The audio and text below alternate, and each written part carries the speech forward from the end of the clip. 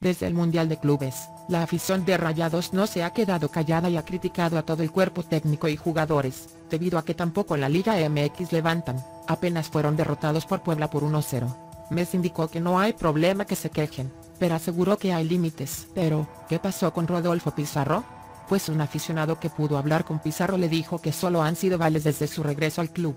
Hermano, qué bueno que te paraste, la gente quiere hablar contigo, te fuiste y no se hizo nada de lo tú esperabas y el club te está brindando una segunda oportunidad, solo han sido bailes, reportó ESPN.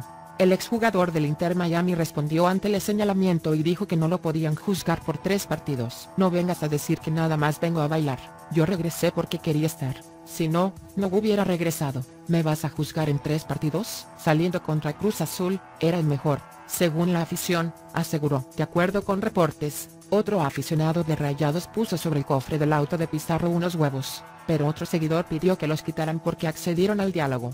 Rayados, equipo dirigido por Javier Vasco Aguirre, ocupa la posición 14 de la tabla general, solo ha disputado cuatro partidos de seis.